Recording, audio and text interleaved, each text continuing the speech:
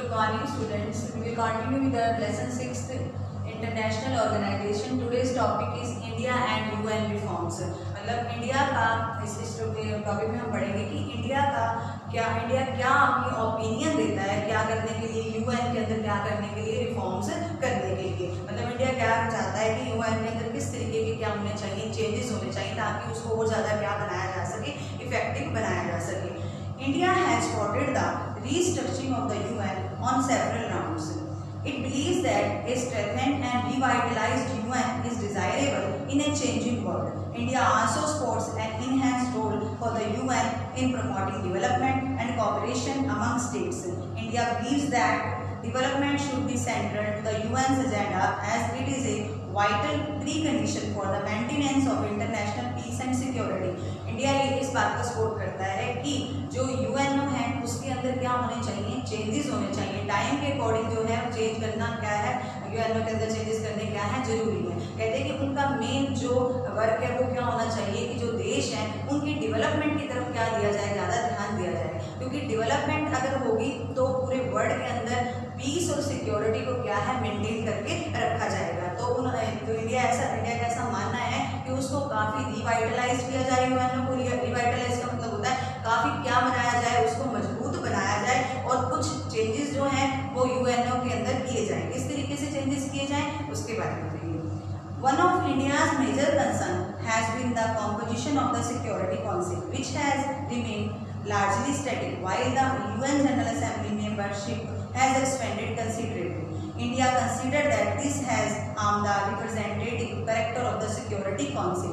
कहते हैं कि जो एक सबसे बड़ा मेजर कंसर्न है इंडिया की, जो सबसे बड़ी चिंता है, वो सिक्योरिटी काउंसिल की नंबरिंग को लेकर है कि सिक्योरिटी काउंसिल की जो एक संख्या है, जो एक नंबरिंग है, वो क्या है एक स्टेबल है उसको क्या नहीं किया जाता, ज़्यादा इंक्रीज नहीं किया जाता मेनली जो हमारी परमानेंट मेंबरशिप है, वो फाइव के जो मेंबर्स हैं, वो परमानेंट है। उन, उसमें, उस मेंबरशिप की जो नंबरिंग है, उसमें कोई भी चेंज नहीं किया जाता। कहते हैं कि अब इंडिया ये चाहता है कि जो सिक्योरिटी काउंसिल की मेंबरशिप है, जो क्या है, काफ़ी स्टेबल है, उसके अंदर चेंजेस किए जाएँ। कहते हैं कि एक बहुत बड़ा क्या है चिंता है। अगर उनका ये इंडिया का ये मानना है कि इससे जो सिक्योरिटी काउंसिल का एक रिप्रेजेंटेटिव करेक्टर है, उसको क्या पहुँचता है, नुकसान पहुँचता है। It also argues that an expanded council with more representation will enjoy greater spot in the world community India का ये भी मानना है कि अगर जो सिक्योरिटी काउंसिल के दायरे को अगर क्या किया जाएगा, बढ़ाया जाएगा तो उससे क्या होगा कि वर्ल्ड कम्युनिटी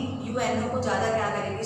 करेगी और सिक्योरिटी काउंसिल के अंदर। क्या क्योंकि ये क्या है? मेन ऑर्गन है सिक्योरिटी काउंसिल से। मैंने आपको पीछे बताया था सिक्योरिटी काउंसिल का मेन ऑब्जेक्टिव क्या है? कि वर्ल्ड के अंदर पीस और सिक्योरिटी को क्या करके रखना, बनाकर रखना। तो इंडिया ये चाहता है कि सिक्योरिटी काउंसिल की जो मेंबरशिप है, उसको क्या किया जाए? इंक्रीज किया जाए। We should keep in mind that the membership of the UN Security Council was expanded from 11 to 15 in 1965, but there was no change in the number of permanent members.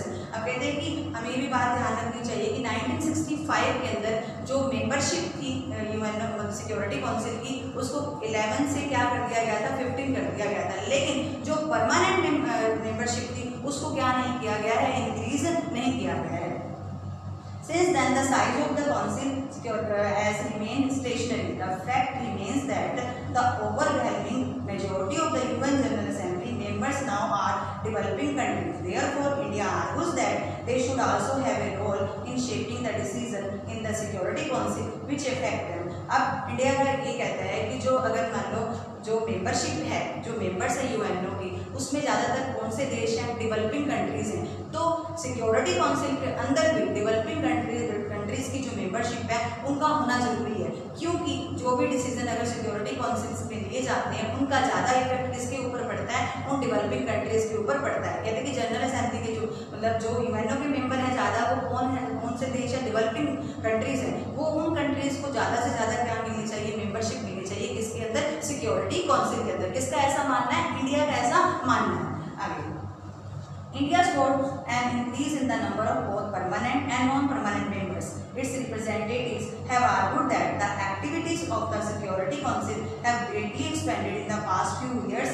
Success of the security council action depends upon the political support of the international community any plan for the restructuring of the security council should there will be broad based for example the security council should have more developing countries in कहते हैं कि उन्होंने ये कहा कि India support करता है, कि परमानेंट और नॉन परमानेंट जो मेंबरशिप है, उसको क्या किया जाए?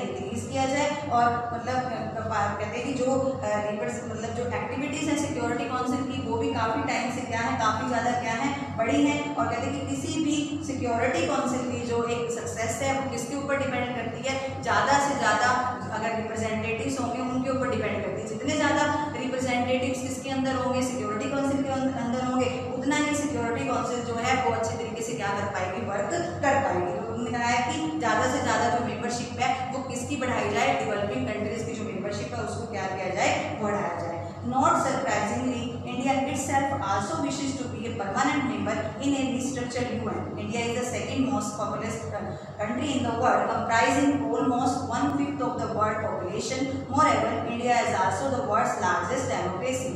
India has participated in virtually all of the initiatives of the UN. Its role in the UN's peacekeeping keeping efforts is a long and substantial one अब इंडिया क्या है? खुद भी क्या एक इच्छा रखता है कि वो एक परमानेंट मेंबर बने किसका?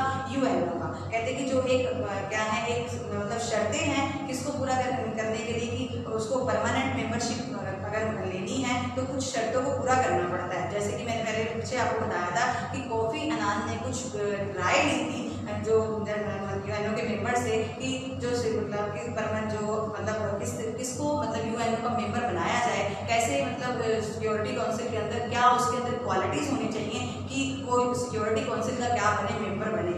तो मतलब एक कुछ मतलब शर्तें रखी गई थी। उस शर्तों में ये था कि एक मतलब पॉपुलेशन वहाँ की ज़्यादा होनी चाहिए। तो कहते हैं कि ये सारी कंडीशन जो है ना, वो पूरी करता है इंडिया कहते हैं कि इंडिया एक तो क्या है इंडिया कहते हैं पॉपुलेशन ज़्यादा है। दूसरा इंडिया हर तरह से यूएनओ की क्या करता है हेल्प करता है। और एक क्या है दूसरा क्या है कि एक उभरती हुई इकोनॉमिक पावर भी है India in the countries economic emergence on the world stage is other factor that perhaps justifies India permanent seat in the security council India is also made regular financial contribution to the U N and never faltered on its payments कहते हैं कि India ने regular जितने भी you N के अंदर financial contribution होता है, वो इंडिया टाइम टू टाइम करता है। इसीलिए ये कंडीशन जो है, उसको भी पूरा करता है कि इंडिया क्या करता है यूएनओ की फाइनेंशियली हेल्प भी करता है। और जो भी यूएनओ के अंदर पीस कीपिंग ऑपरेशन चलाए जाते हैं, उसमें भी इंडिया जो है एक्टिवली तरीके से क्या करता है पार्टिसिपेट करता है। इसीलिए कहते हैं कि यू जो इंडिया है, वो सारी नीड्स को पूरा करता है यूएनओ की। तो इंडिया को क्या बनना चाहिए? परमानेंट मेंबर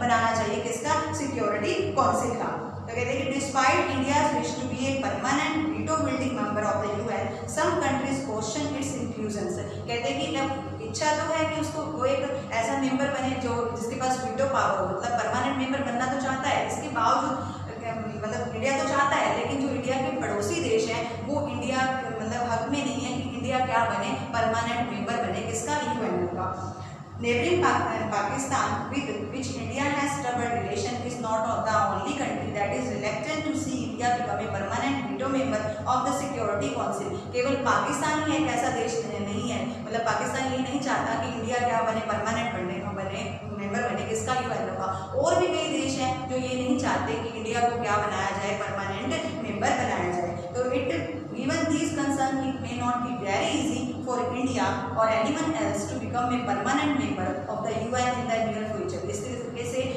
इंडिया के लिए क्या है? काफ़ी मुश्किल है क्या बनना? परमानेंट मेंबर बनना किसका? सिक्योरिटी काउंसिल का। अब आपको बता दूँ आपकी नॉलेज के लिए अभी जून में क्या हुए थे? इसके इलेक्शंस हुए थे तो इंडिया जो है, वो नॉन परमानेंट मेंबर बना है? किसका? यूएन सिक्योरिटी काउंसिल का। उसके अंदर क्या था कि 192 वोट्स में से 184 वोट जो है, वो किसको मिले थे? इंडिया को मिले थे। इस तरीके से इंडिया क्या चाहता है कि काफ़ी ज़्यादा जो चेंजेस हैं, वो यूएन के अंदर किए जाए, ताकि यूएन को और ज़्यादा क्या बनाया जाए इफ़ेक्टिव बनाया जाए।